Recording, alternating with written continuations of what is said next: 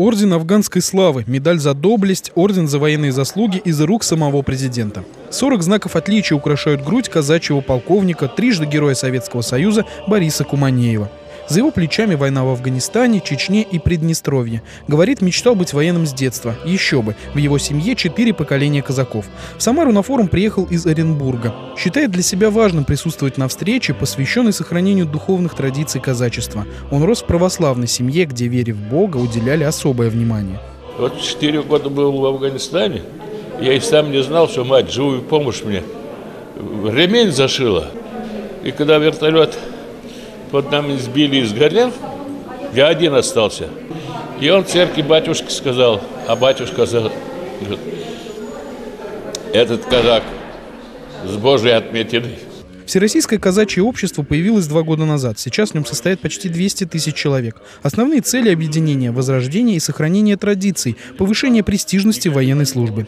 Для обсуждения этих вопросов в Самаре каждый год проводится форум.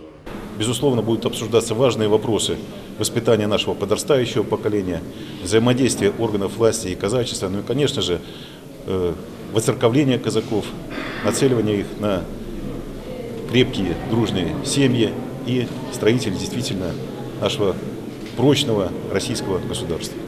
На форуме присутствовали более 300 представителей казачьих обществ из 12 регионов России, около 40 священнослужителей, в числе почетных гостей – два митрополита.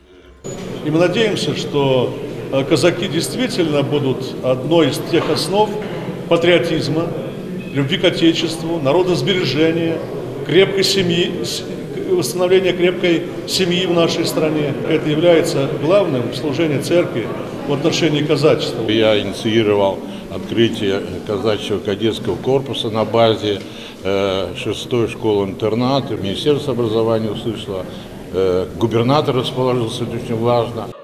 Такого масштабного форума в Самаре еще не было. Он шел два дня. Второй день ознаменовался божественной литургией в Софийском соборе. Андрей Горгуленко, Елена Нижегородцева, Семен Безгинов, Григорий Плешаков, Николай Сидоров. События.